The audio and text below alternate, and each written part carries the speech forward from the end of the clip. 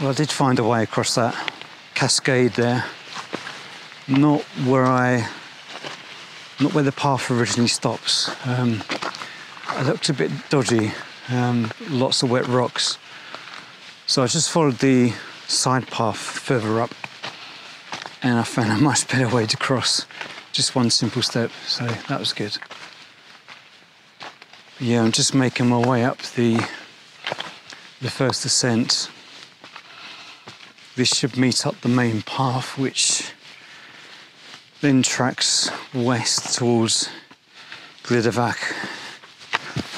Yeah, it's been fairly steep so far. Lots of rocks, which is always annoying. I'm just taking my time.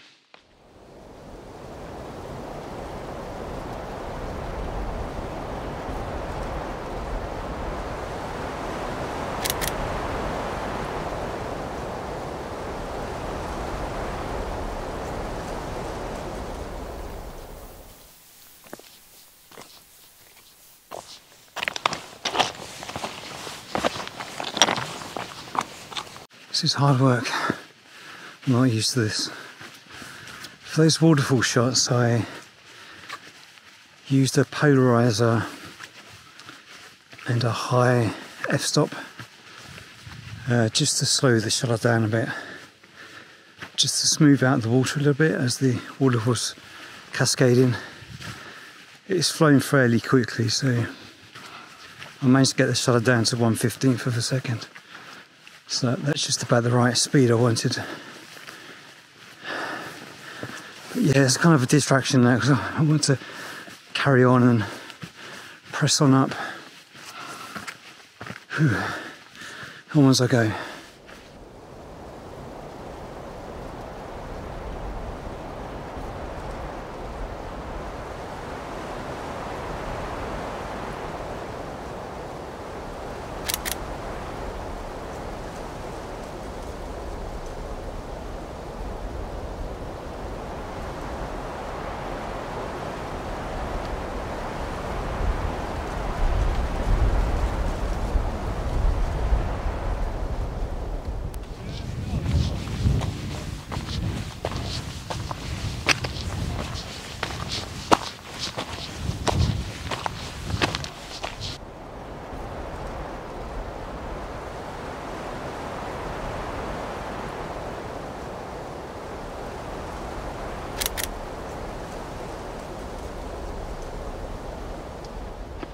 There's a bit boggy coming across that ridge there.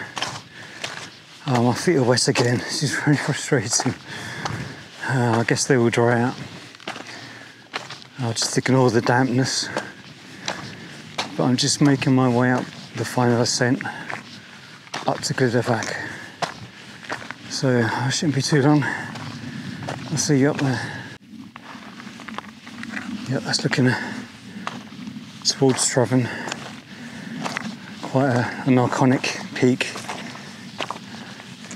by the Ogwen Valley.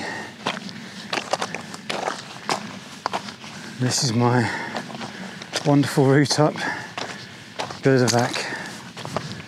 Stones, stones, lots of stones.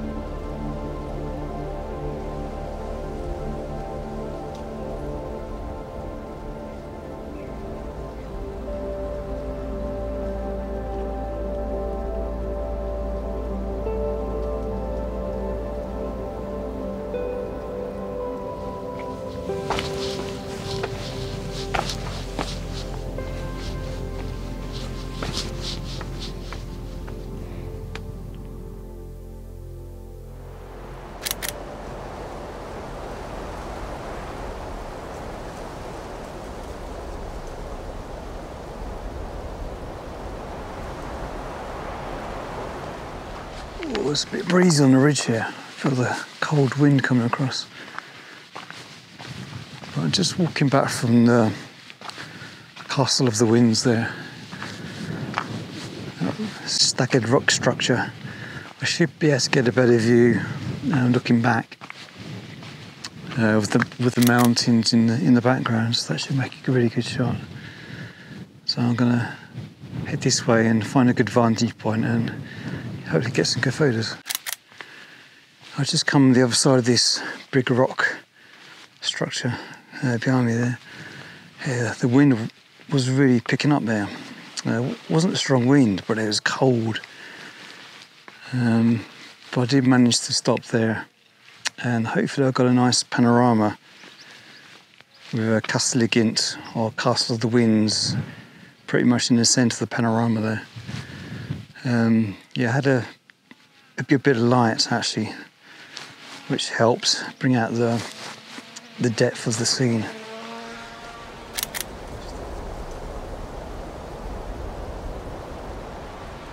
You just hear someone flying their drone here, which I will probably do in a bit. Um, I will drop down a bit though, because it is a bit windy. Uh, but yeah, I just need to pick my way through these rocks now, um, sort of heading towards back. I'm going to track back the, the same way I came. Uh, no doubt I'll get wet, wet feet again walking through the bog, which is always fun.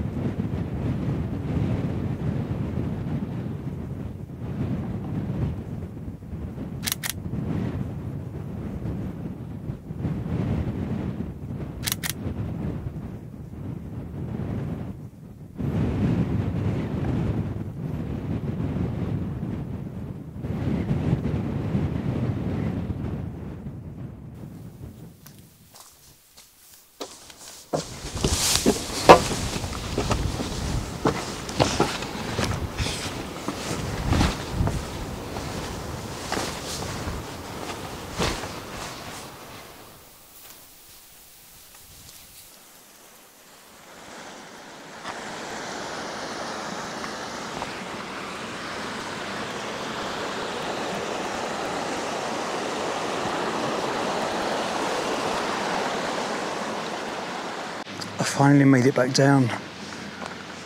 That was uh, quite a slog down actually. Lots of loose rock and um, big boulders and quite steep steps, so it really does take it out on your knees. Yeah, really quite tired my legs are. But it's a good trip, it's definitely worth doing that. Um, yeah, great views from up there and the scenery, the landscape, it's just amazing. So hopefully I got got a few good photos there. I did take the drone up for a, a, little spin, but it was a bit windy, so I didn't take it up for too long. And the wind really blew on the way down. Yeah, it really picks up um, as it come across the ridge. Um, it's not until I got near the bottom that the, the winds eased off. So yeah, it was a good trip, and I'll be glad to get back and have some late lunch. I think. It's well past midday. Yeah, I lost track of time when I was up there. So, anyway, thanks for joining me on this one, and um, I shall see you somewhere next time. I, it won't be in the mountains. Obviously, I don't live near here, but I can certainly do some hikes around my local neighbourhood, uh, around Essex and Suffolk. Um, there's heathland and forest and riverside walks I can do. So, anyway, I'll see you next time.